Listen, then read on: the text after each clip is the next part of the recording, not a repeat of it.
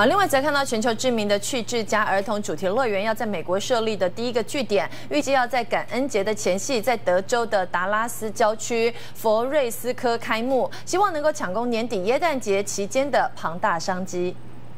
在达拉斯郊区的购物中心旁，有栋红色建筑物正悄悄盖起，那正是趣之家乐园。乐园里有占地八万平方尺的模拟小镇，小镇里有五十五座建筑设施，包括银行、电视台、航空站、餐厅、医院、大学以及消防局。而趣之家乐园里的所有设施都是跟孩童等比例建成，能帮助孩子们在乐园中舒适的使用。